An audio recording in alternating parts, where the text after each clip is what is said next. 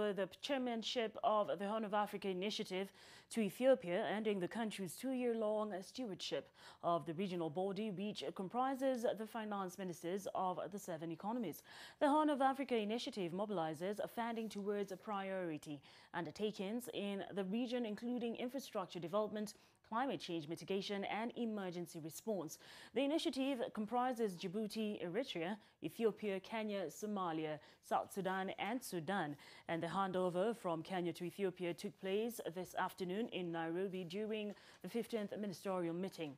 So far, the initiative has mobilized 7.5 billion US dollars worth of funding from the World Bank Group, the Africa Development Bank and the European Union.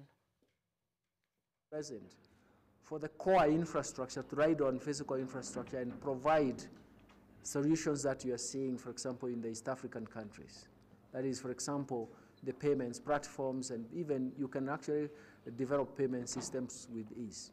We want to move to the point where we want also cross-border uh, payments are feasible real time.